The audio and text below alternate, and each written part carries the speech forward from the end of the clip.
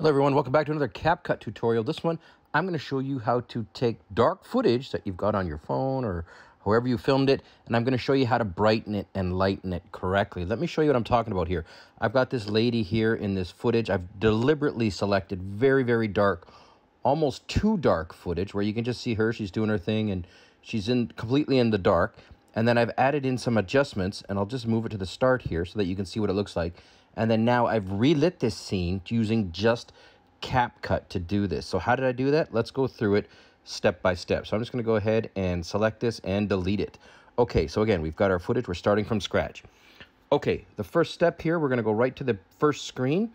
And you're going to want to go, you know how you see the edit? You want to go to the right side here. And you want to click on the adjust option. The most important one, of course, as you've probably guessed, is brightness. But when you jack up the brightness all the way, it's brighter, but do you see how it's put in a color cast? So we've got a very, very cool and a very blue tint to the film or to the footage that we don't necessarily want in most cases, unless you're filming a horror film. Maybe then you can keep it in.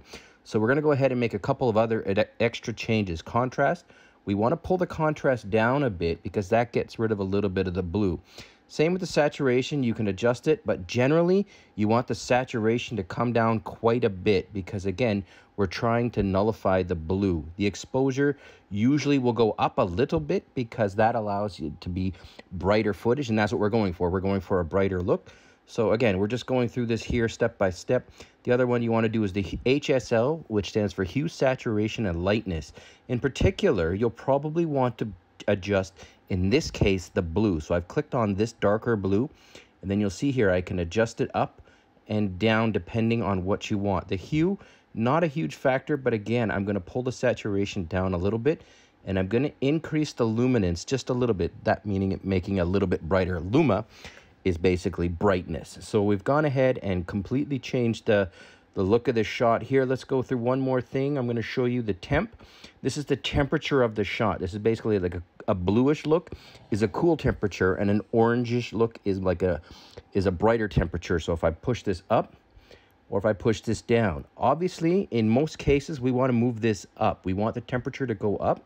So I'm going to go ahead and there adjust it to that point. Now you'll see here, now if we look at the original shot, I'll go back here. This is the original shot and this is the adjusted shot. This is a lot brighter. We see a lot more of her.